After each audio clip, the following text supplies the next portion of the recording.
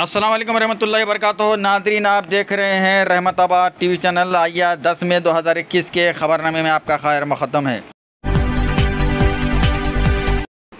रियासत तेलंगाना में corona virus के केसों में कमी का रुझान बरकरार है। रियासत तेलंगाना में गुजशत चंद दिनों से कोरोना वायरस के केसों और अमवात में कमी का रुझान बरकरार है। गुजशत चौबीस घंटों के दौरान तेलंगाना भर में कोरोना वायरस के 4,826 मुस्बित केसेस दर्ज हुए हैं और 32 अमवात हुई हैं।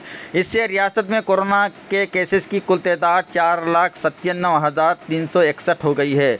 गुजशत चौबीस घंटों के दौरान रियासत भर में पैंसठ हज़ार नौ सौ तेईस नमूनों का टेस्ट किया गया। रियासत भर में हलाकतों की तादाद दो हज़ार सात सौ इकहत्तर हो गई है। जीएचएमसी के हदूद में सात सौ तेईस केस दर्ज हुए हैं। आदिलाबाद में सत्तावन कोत्तागुड़ा में निन्यानवे, जगतियाल में एक सौ जंगाओं में चौपन, भोपाल बल्ली में वन्यासी गदवाल में पचहत्तर कामारडी में उनचास, करीमनगर में 207 खम्मम में 205 आसिफाबाद में सत्तावन महबूब नगर में 126 महबूबाबाद में 117 मंचियाल में एक सौ बयालीस मेदक में पैंसठ मलकाजगिरी में 324 मुलगू में 50 नागर कर्नूल में 208 नलगुंडा में दो सौ नारायणपेट में पाँच, निर्मल में बयालीस, निज़ामाबाद में अठहत्तर पेदापल्ली में एक सौ चौरालीस, सिरसिला में चौपन रंगारेड्डी में 302 संगारेड्डी में सत्यासी सिद्दीपेट में एक सौ इकसठ,